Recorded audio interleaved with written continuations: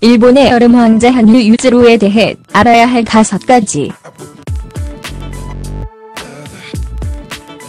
점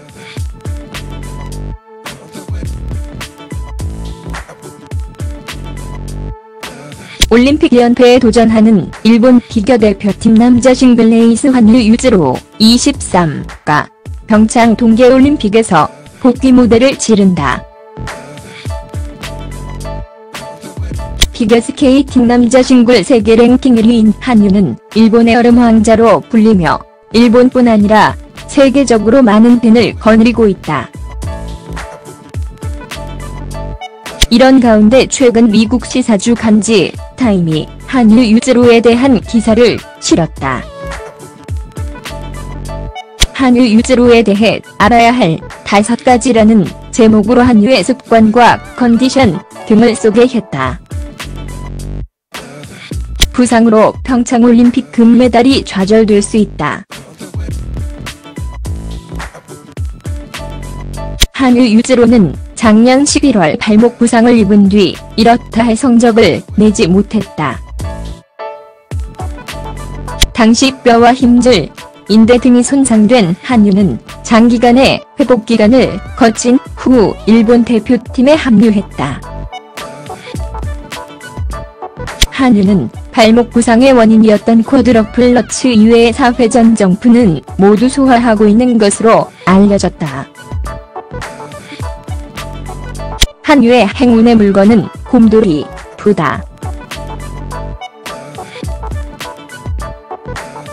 한유 유즈로는 곰돌이, 부인형을 좋아하는 것으로 알려졌다.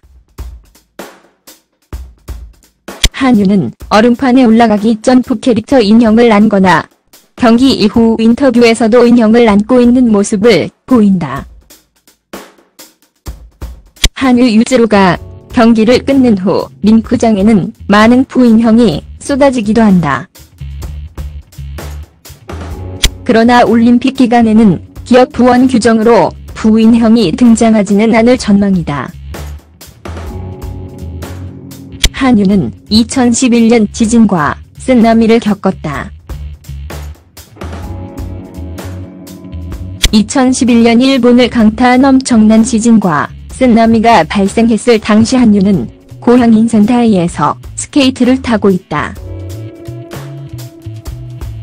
당시 16세인 하뉴 유즈루는 완전 붕괴된 스케이트장에서 가까스로 빠져나왔다. 이후 한유는 당시 사고가 스케이터로서 동기를 부여하는 일이 됐다며 지진이 자신의 가치를 완전히 바꾸었다고 밝혔다. 한유는 남성 피겨 선수 대다수가 하지 못하는 것들을 해낸다. 피겨는 최소 4회전 점프가 동반된 쿼드가 관건이다. 쿼드를 깔끔하게 성공할수록 점수를 극대화한다. 한유는 예술적 기교와 스포츠 열정이 더해진 완벽한 퍼포먼스로 극찬을 받고 있다.